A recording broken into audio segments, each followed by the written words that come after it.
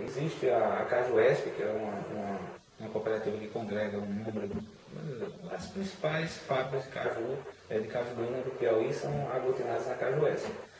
É, ontem a gente falou com o pessoal da Agricultura, não estão preocupados, né, são todos proprietários de, de fábricas de cajuína, quase todos registrados no Ministério da Agricultura. E o, o desafio é melhorar a qualidade, é, aumentar a, a, a, escala de produção, né, um dos problemas da cajuína, porque a produção é concentrada num período muito curto, né, então qualquer unidade industrial sofre porque você tem na prática aí três, quatro meses de produção para comercializar no restante do ano. Né? É uma safra.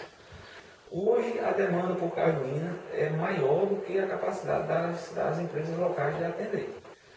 É, canais, por exemplo, sempre que você vai sentar para negociar algum volume de venda com alguma empresa maior, normalmente essas empresas não, não, é, não conseguem atender.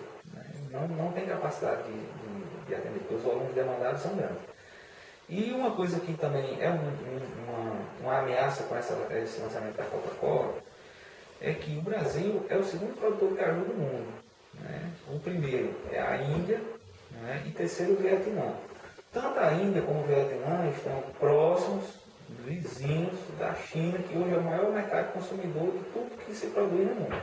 Inclusive a acerola que se produz em Itaúra ela no, como destino final, dois terços dela é consumido na China. Né? E veja só, se eles lá, que não sabem o que é cajuína, cajuína só se faz aqui. Ninguém sabe o que é cajuína lá. Mas que a demanda de, de por cajuína, se for colocada, é um potencial para o muito grande exportar cajuína. Mas hoje a gente não tem nem como atender o mercado local.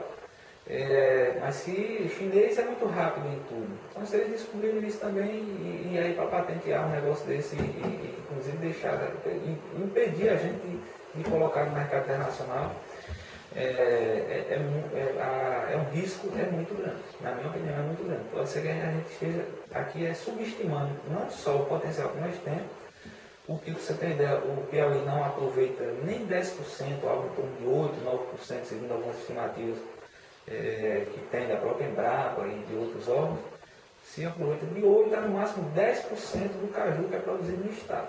Dizer, teoricamente nós temos assim, de, de já potencial para. tem matéria-prima para aumentar 10 vezes o volume de, de cajuína. O Piauí produz em torno de 4 milhões de garrafas de cajuína por ano. Isso é muito pouco.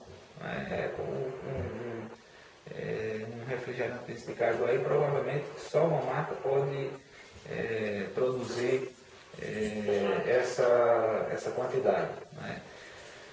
Mas o potencial é grande, as condições são, são, são muito favoráveis.